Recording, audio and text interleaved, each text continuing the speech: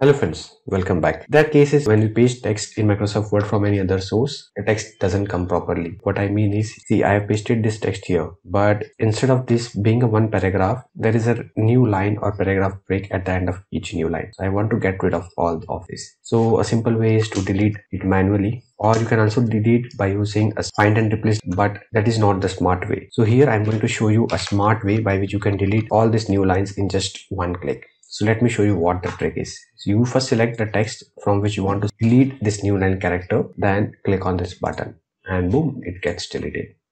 So in this video, I'm going to show you the entire process how to get this button here. So let's start. First of all, we have to bring the developer tab here. So to bring that, right click on the empty area on your ribbon, then select customize the ribbon. Here in main tabs, you just check against developer, click OK now you will have a developer tab here. Go to the developer tab click visual basic and it will open a new window. Now here paste this function. Now the link of this blog will be given in the description. You can just copy the function and paste it here. And the name of the function is delete new line. Just remember this name then click save and then close this thing.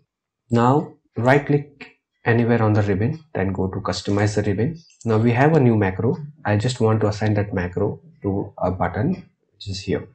To do that go to quick access tool. These are my quick access tool. Here choose command from.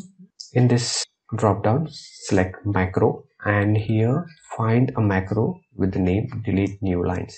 So we'll have this macro and the last thing will be delete new lines. Normal module 1 delete new lines just click on this and then click add.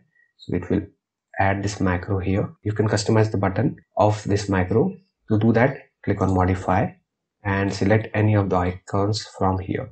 So for timing i'm going to select this icon. This is that icon. Click ok. And now you will see this icon here. Now i will show you how it works. So i'll just copy this text again and now paste it here. Now as you can see this is the unwanted new line characters or paragraph break here. Just select the text and then click on this button and boom it's gone. That's it in this video. I hope you like this video. And if that's the case give us a thumbs up.